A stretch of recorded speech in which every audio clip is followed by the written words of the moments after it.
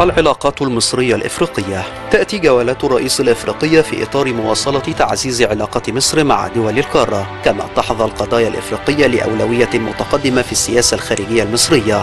وقعت مصر العديد من اتفاقيات التعاون الثنائي واللجان المشتركة مع دول حوض النيل. تركز السياسة المصرية على مشروعات التنمية في إفريقيا واستمرار التنسيق والتشاور مع الزعماء الأفارقة ومتابعة تنفيذ اتفاقيات التعاون القائمة لتعظيم المردود المرجو منها.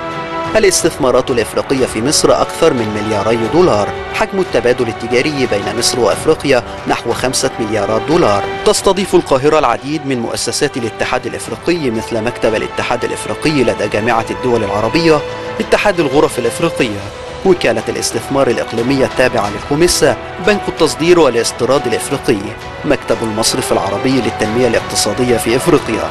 منظمة تضامن الشعوب الأفرو أسيوية الاتحاد الإفريقي لكرة القدم.